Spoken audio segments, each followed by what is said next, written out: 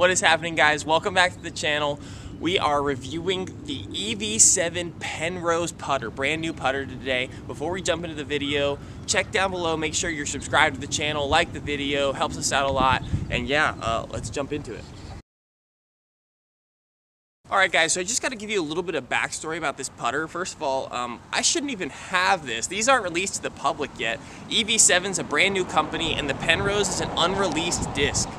Um, but I actually got this in a player's pack at the Super Bowl Scramble in Lula, Georgia. We have a video of that, um, just like a, a tour vlog. Um, but yeah, this disc is completely unreleased. You can't even get it until March 1st. It's uh, available for pre-order. Um, but I was super excited to get my hands on it. Uh, the big news about this company, guys, EV7, Premium Disc Golf Putters. They are a putter-only company, and they're brand new. They're local in Georgia. I think they um, they produced out in Ellijay, Georgia. So yeah, I was super excited to get my hands on this disc, guys. And as soon as I got it, I said, we gotta try this thing out. So what I've got for you today is a review. I whipped out my practice basket, got out my PA3s and said, let's see how this thing compares to some putters that we've thrown before. So uh, without further ado, I'm gonna show you how this thing flies.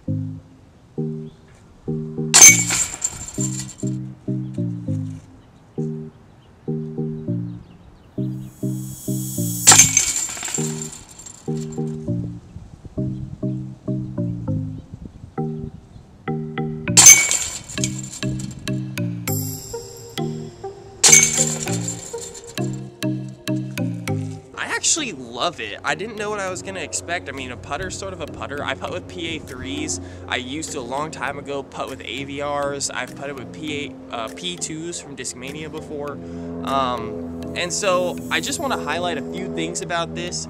Um, it's got a bead, a small bead. It's not significant. My PA3s have a really large bead. And so if you like a beaded putter, this is definitely a beaded putter. And I happen to like that, but it's all about comfort. So the Penrose is a beaded putter. Uh, it's pretty overstable. Uh, what I was noting, I mean, this is a brand new putter, so it might beat into a little straighter, but it is a pretty overstable putter. I was putting with a little bit of anhyzer earlier, just trying to see like how long it would take to come out of it, and it was fighting out of it pretty quickly. Um, outside the circle putts, you're definitely not gonna want long anhyzer putts with this until it beats in, but I actually love a good overstable putting putter. Uh, I like my PA3s to be newer because when they beat in, uh, they start to be a little straight for me. Uh, I'm a hyzer putter for the most part, so I like it to start to the right and crash into the chains. And if you like that, you're gonna love this putter. Um, this is an what they call OG base plastic.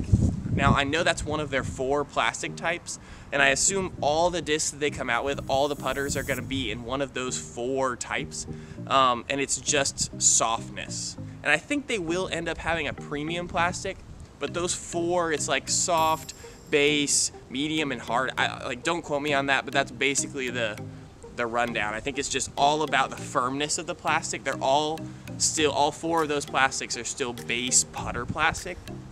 They haven't yet released a premium plastic for these. Um, but when they do, I will be very interested. I'm not sure that I'm switching from my PA3s. I've been putting with them for years, but this is a great putter, and they're at a great price point too, guys. I mean, I, we're not sponsored by these guys, but this is a cheap putter, and I'm excited about where uh, where this company is going and what it could mean for the sport in the future. Guys like Drew Gibson getting sponsorships only for putters. I mean, that's that's wild, guys. That could be wild, like game changing for the whole sport, for the whole pro scene.